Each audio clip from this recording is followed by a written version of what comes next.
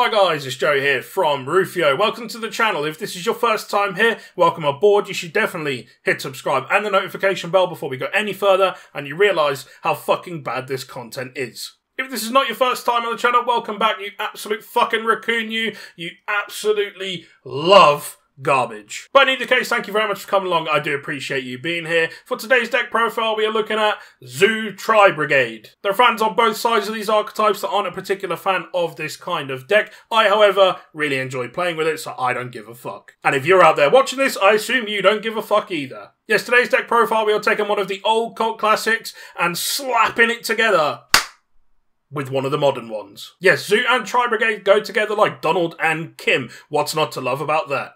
In today's video, I'll be demonstrating the particular build that I've been testing online and having a lot of fun with. It's almost certainly not going to be perfect because I'm a fucking Yu-Gi tuber and I don't really know what I'm doing, but at least I can pretend, right? If you're watching this video and you're inspired to pick up any of the cards, definitely check out Jam Jam Cards UK. There is a link in the description for a nice exclusive discount, courtesy of yours truly. They don't just do Yu-Gi-Oh! singles either, they do Pokemon as well. But anyway, that's enough waffling on from me. Let's get stuck into the deck profile. Let me first apologise in advance if there's any weird noises in the background. It is windy as all fuck out of there, and of course the horses next door are going absolutely insane as a result. On top of that, it's been snowing a little bit, which also sends them round the twist as well. To make matters worse, I have the loudest laptop in the world, mostly because it's super powerful, but as a result the fans go like the clappers, and sometimes it gets picked up in the background of the video. I'll do my best to edit all of that out. But that is enough waffling on from me, let's get stuck into the deck profile. So for our Tri Brigade cards, I think this is a pretty self-explanatory lineup here. Of course, in Blazing Vortex, which is due out tomorrow at the time of recording, we get Kit, which is really important. If you want to check out a combo that goes on with these here, uh, that's really, really cool. Check out my how to play video for this. I'll probably pop a link onto the screen so you can go ahead and check that out if you're interested. But again, I think this lineup is quite nice and tight. Others may disagree. Certainly let me know if you do. So we have triple copies of Fraktall, a single copy of Kerass, two copies of Nervall, and a single copy of Kit. And for our zoo package, we have triple copies of Whiptail, two copies of Thoroughblade, triple copies of Ram Ram, and a single copy of Ratpier. Again, I think that the build so far is pretty standard as far as most of these decks would go.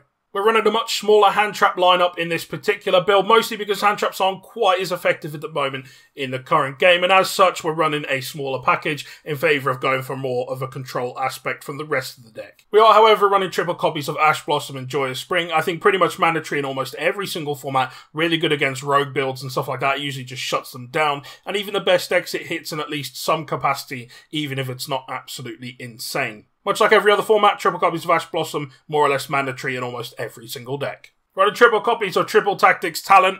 I fucking hate saying that. This card, of course, punishes your opponent if they try to interrupt you in some capacity. Still a really, really strong option to go with. You could play something like Forbidden Droplet if you wanted something a bit more proactive instead. Running triple copies of Tenki here, I think this is pretty much mandatory in any of these kind of builds. Uh, it, well, it's pretty self-explanatory. I'm sure I really don't need to go into detail here. Running two copies of Pot of Avarice, this deck does churn through its monsters very, very quickly. And in order to be able to play the grind game, this really gives you the option to do that. If Zoo was at full power, of course, we wouldn't have this issue with consistency and being able to grind out in the long game, but Pot of Avarice does allow you to do that. The downside is it's not the strongest card, especially if you open it, so we are running just the two copies here instead. We're in a weird position in the game at the moment where back row is becoming more and more heavy. People favouring to choose back row over hand traps instead because the hand traps don't, frankly, do enough in the current game. This particular format is built to deal with hand traps with no problem at all, and as such, people are opting for more back row heavy options, and Harpie's Feather Duster just gives us an option to help deal with those back row heavy decks. If you really wanted to, you could play additional back row removal, although that is probably something I would play in the side, because it's not always needed. We're running a single copy of Foolish Burial, pretty self-explanatory, I'm sure I don't need to go into details there. And much the same for Zoodiac Barrage, of course if this was at more than one, we would absolutely play more copies. Running a single copy of Called by the Grave for when you do get hit by that hand trap, or of course the fact that you can use this as a bit of an offensive play against your opponent.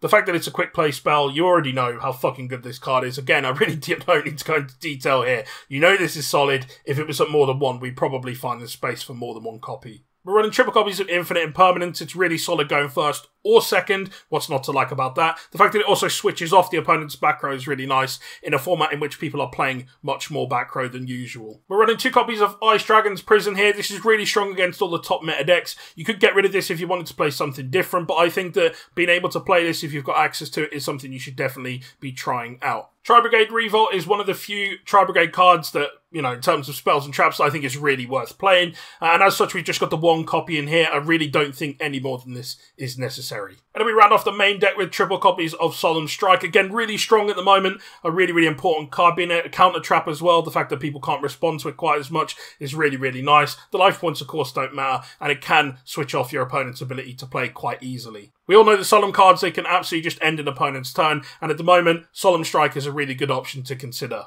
We then move on to arguably the most generic extra deck in the world. But before we do, just a quick note here, we don't run a side deck here, mostly because it depends on the format that you're playing in. If you play this in a few weeks from now, things could have changed dramatically for all we know. And of course, it depends what you're playing against in terms of what tournaments you're playing in, all that good stuff. I'm not going to go into too much detail about that though. There are plenty of videos out there discussing what the best side deck options are for the current format. The ratios here for me are absolutely spot on. I've not really felt the need to switch this up too much. Tri Brigade Rugal, just two copies of that, two copies of Shuraig, and two copies of Ferrijit. I think honestly, two of each works absolutely fine. Again, you could run more if you really wanted to, but given that this is a hybrid build, we really need all that extra deck space that we can make as much use of as possible. We then move on to our Zoodiac extra deck cards. We've got two copies of Chakanine, I think two is fine. Two copies of Tiger Mortar, some may prefer a third. I think the two is absolutely fine.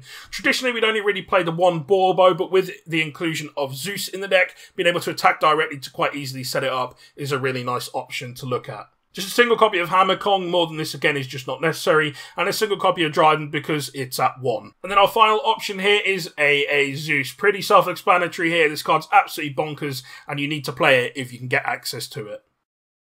And that is all for today's video. By virtue of the fact that you made it this far, hopefully you enjoyed it enough to hit subscribe and the notification bell, or hated it enough that you couldn't possibly look away. In either case, thank you very much for making it this far into the video, and hopefully you have enjoyed the content. Deck profiles aren't all we do on this channel, but unfortunately the well is a little bit dry at the moment, if I'm to be brutally honest with you, and as a result, deck profiles are quite easy to make, quite easy to test, and all of that good stuff. If there is other content you'd like to see on the channel, definitely let me know down in the comments exactly what you'd like to see. I do take the time to read as many of them as I possibly can. Again, thank you very much for coming along. I do really appreciate you being here, and I'll see you in the next one.